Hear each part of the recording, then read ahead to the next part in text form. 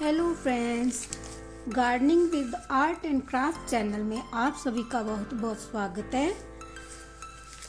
आज मैं आपको मनी प्लांट की केयर के बारे में कुछ टिप्स बताऊँगी।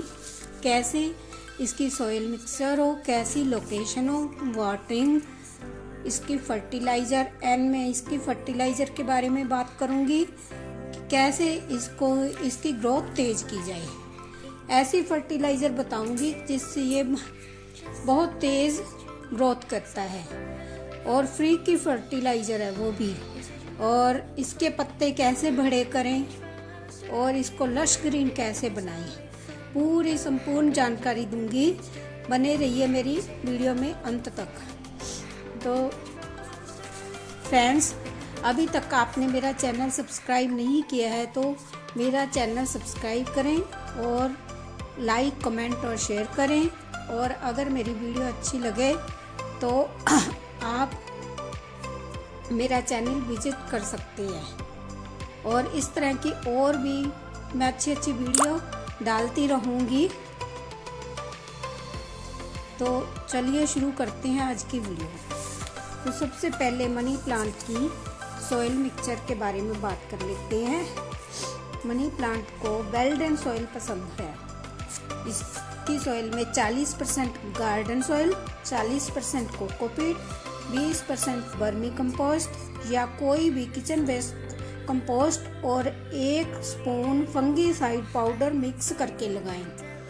इस सॉइल में अगर आप मनी प्लांट को लगाते हैं, कभी भी आपका मनी प्लांट नहीं मरेगा। बहुत अच्छा चलेगा। अब बात कर लेते हैं इसकी लोकेशन के बारे में।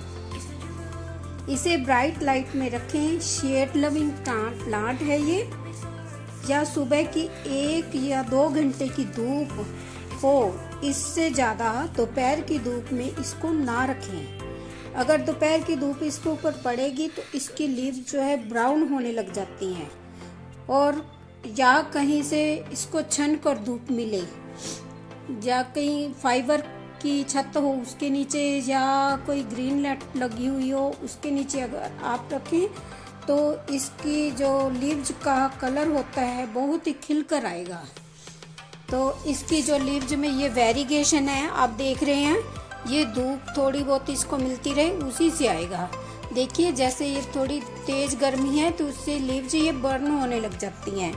ये मैंने इंडोर में रख रखा है प्लांट मदर प्लांट मेरा बाहर पड़ा है। तो ये मैंने कटिंग से प्रोपोगेट किए हुए प्लांट्स हैं। तो और इससे इसकी ग्रोथ भी अच्छी होगी।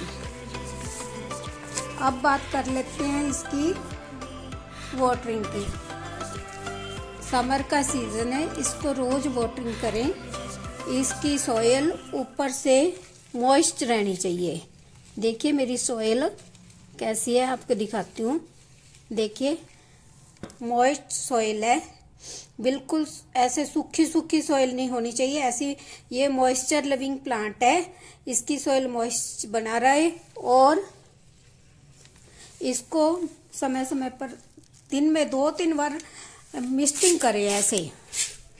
ऐसे मिस्टिंग करते रहे ताकि इस पे जो डस्ट आ जाती है, वो हट जाए और इसकी पत्तियाँ लश ग्रीन शाइन करती रहें। और इसको मोस स्टिक पे लगाएँ। अगर आप इसको, इसकी पत्तियाँ बड़ी बड़ी चाहते हो कि बहुत बड़ा पत्ते हो जाएँ, देखिए मेरे मनी प्लांट के पत्ते कितने बड़े बड़े हैं। अगर बड़े बड़े पत्ते चाहते हैं तो आप इसको मोस स्टिक पे चढ़ाएँ।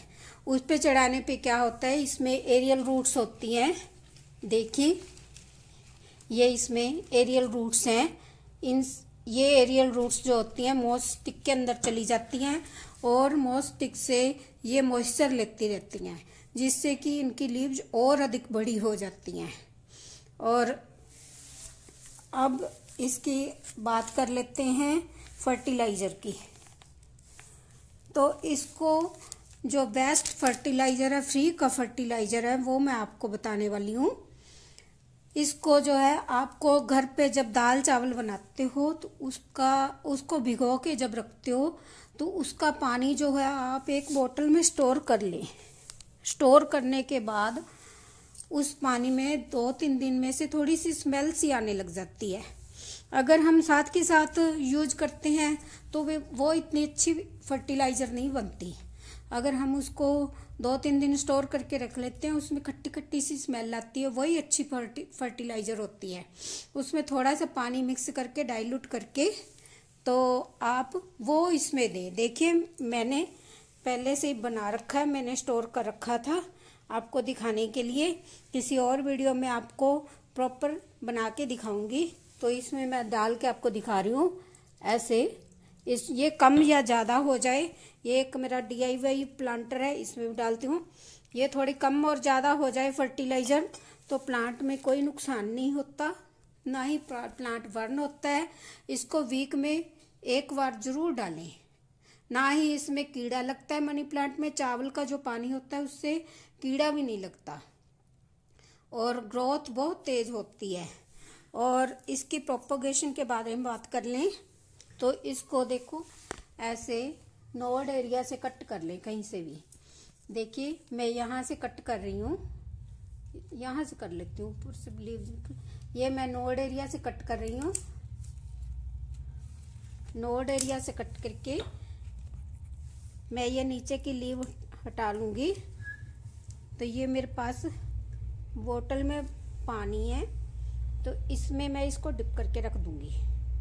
इसके 10-15 दिन में नोड एरिया जो है, जहाँ से लीव हमने कट की है, वहाँ से जो है इसकी, देखिए छोटी सी एरियल रूट पहले से ही निकली पड़ी है। ये छोटी सी एरियल रूट पहले से निकली पड़ी है। अगर इसको हम पानी में डालते हैं तो ये अच्छे से डिवेल्प हो जाएगी और इसको फिर हम मिट्टी में लगा लेंगे। इसको डायरेक्ट भी हम मिट्टी में लगा सकते हैं, तब भी चले जाएगा, चल जाएगा। ये इसका अब ग्रोइंग सीज़न है। बहुत अच्छे से मनी प्लांट चल जाता है और इसको सैंड में, रिव रिवर सैंड में, कोकोपीट में गार्डन सॉइल में या पानी में। कैसे भी प्रोपोगेट आप कर सकते हो। देखिए, एक मेरा ये डी आई वाई प्लांटर है। इसमें आपको दिखाती हूँ कैसे पानी में मैंने रूट्स डेवलप हुई पड़ी हैं। देखिए, कितनी अच्छी रूट्स डेवलप हुई पड़ी हैं। ये मैंने पानी में ही लगा रखा है। प्लांट्स तो अगर आपको मेरी वीडियो अच्छी लगी हुई हो तो लाइक शेयर कमेंट करें और बेल आइकन को प्रेस करके ऑल पे क्लिक करें। Thank you for watching